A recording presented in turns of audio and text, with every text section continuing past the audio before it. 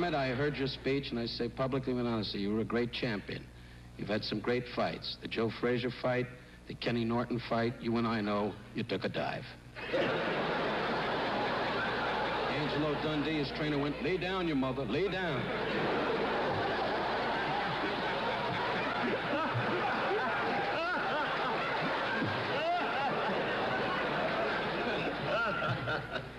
Don Meredith, who is dumber than Muhammad, is explaining it.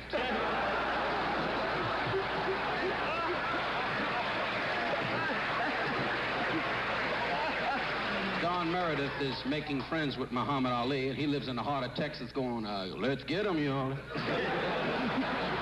let's get Muhammad and have a cookout.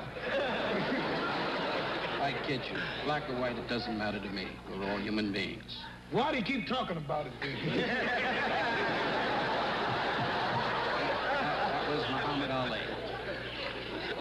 I want to thank you, Muhammad, for butting in while I was talking. I hope your hair gets kinky again.